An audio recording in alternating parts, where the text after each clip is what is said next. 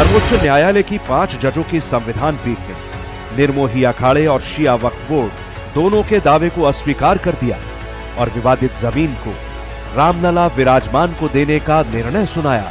यह सर्वसम्मत निर्णय दिया था कि अयोध्या स्थित राम जन्म भूमि पर रामलला का मंदिर था, है और रहेगा। 490 वर्ष तक राम भक्तों ने जो संघर्ष किया था, वह रंग लेकर आया।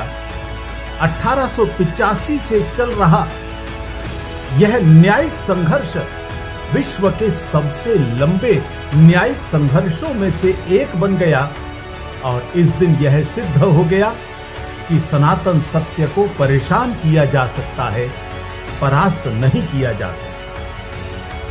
सेकुलर गैंग से जुड़े एक बड़े वकील ने कहा था हम चाहते हैं कि न्यायपालिका से निर्णय हो और न्यायपालिका निर्णय न कर पाए उसके तरीके हम जानते हैं।